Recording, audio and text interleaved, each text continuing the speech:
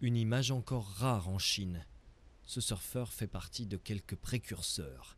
Ils sont venus sur l'île de Hainan pour s'essayer à ce sport qu'ils n'ont vu qu'à la télévision ou sur Internet.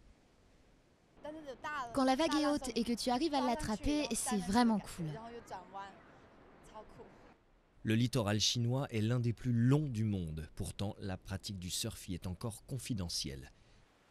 La première école de surf de Hainan a été créée il y a deux ans par un Américain. Regardez Hainan, regardez cette plage.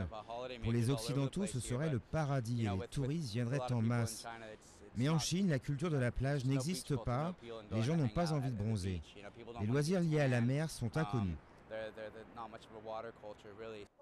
Mais c'est quelque chose qu'il essaye de changer. Lui qui s'occupait de paiements électroniques dans une banque de Philadelphie a tout quitté pour venir s'installer à Hainan et vivre son rêve. La pratique du surf se développe peu à peu grâce aux classes moyennes chinoises en quête de sensations inédites et de nouvelles activités de plein air. Ce qui est génial dans les cours de surf, c'est la satisfaction du client, tellement grande. Tant qu'ils arrivent à tenir entre 5 et 8 secondes, ils sont aux anges, ils sont tous sourires.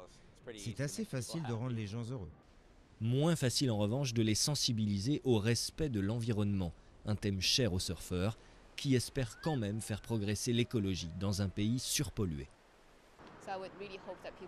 J'espère vraiment que les gens vont faire attention, ne pas jeter leurs détritus sur la plage par exemple. Si on veut être heureux avec la nature, il faut être son ami. Mais ici, le surf reste avant tout un sport pratiqué par ces dingues d'étrangers. Ce week-end, la plupart des 40 concurrents du Hainan Open seront des expatriés installés en Chine.